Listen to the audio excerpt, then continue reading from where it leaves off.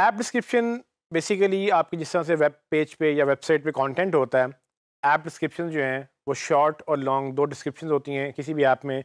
वो play store में आपको स्पेशली ये फीचर मिलता है कि आप शॉर्ट डिस्क्रिप्शन एक एक लाइन की आप शॉर्ट डिस्क्रिप्शन दे सकते हैं लेकिन फिर बाद में आप दो तीन हज़ार वर्ड्स की लॉन्ग डिस्क्रिप्शन भी दे सकते हैं। तो ये जिस तरह से आपके वेब पेज पे कंटेंट होता है ये आपकी वेब ये आपकी ऐप का कंटेंट होता है। सो so, असल में होता क्या जब आप कीवर्ड रिसर्च करते हो आइकन अच्छा बनाते हो, स्क्रीनशॉट अच्छे बनाते हो, फिर आप इस टेक्स्ट के ऊपर आ जाते हैं जो एक्चुअली आपकी बॉडी बॉडी कंटेंट है। इसमें आपने सारी चीज़ें एक्सप्लेन करनी होती हैं कि आपकी ऐप क्या है, उसमें क्या क्या हो रहा है, लेकिन आपने एक्सपीरियंस को इस इस अंदाज में करनी होती हैं कि वो अट्रैक्ट करे यूज़र को हुक रखे। हुक रखने से मुराद के उसका इंटरेस्ट बना रहे बोर ना हो जाए और वो पढ़ते पढ़ते ये ना हो कि वो बिल्कुल बैठ जाए। तो कुछ ऐप डिस्क्रिप्शन कुछ इस तरह की आपको एग्ज़ाम्पल में नज़र आएगी कि आपकी या किसी भी ऐप की इस तरह की डिस्क्रिप्शन होती है, दो चार पैराग्राफ्स होते हैं।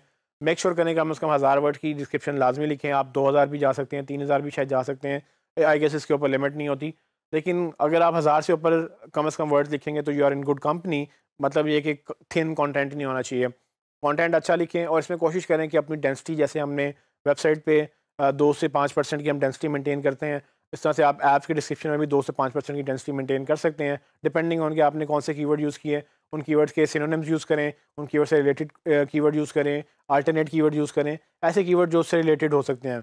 अब वेबसाइट में तो इंटरनल लिंकिंग करते थे कि हम एक पेज से दूसरे पेज पे, दूसरे पेज से तीसरे पेज पे हम जाते थे, लेकिन यहाँ पर आप इंटरनल लिंकिंग का कोई कॉन्सेप्ट नहीं है, क्योंकि आपकी एक ऐप एक ऐप है। आपने उसी ऐप के ऊपर सब कुछ लिखना है सो इंटरनल लिंकिंग की ज़रूरत नहीं है, लेकिन हाँ अगर जहाँ लैंग्वेज की बात हो रही है वहाँ पर कंट्रीज़ की भी बात हो रही होगी वहाँ पर लोकल भी लिखा जा रहा होगा।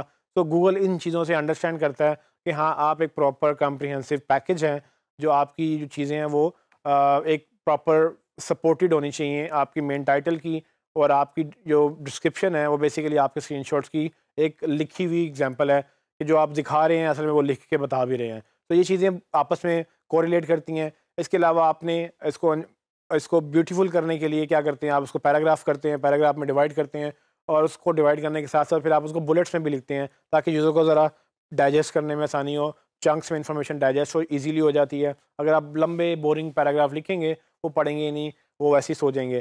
तो हमने कोशिश ये करनी है कि पैटर्न ब्रेक करना है चार पाँच लाइनों का एक पैराग्राफ फिर चार पाँच लाइनों का एक पैराग्राफ अगर बुलेट्स हैं तो बुलेट्स डालें और फिर छोटा पैराग्राफ लिखें, फिर बड़ा पैराग्राफ लिखें, कोशिश करें अगर आप बोल्ड कर सकते हैं बोल्ड करें, नहीं तो स्टैरिक्स लगा के थोड़ा सा उनको एम्फोसाइज कर दें जो कि इंपॉर्टेंट पॉइंट्स हैं।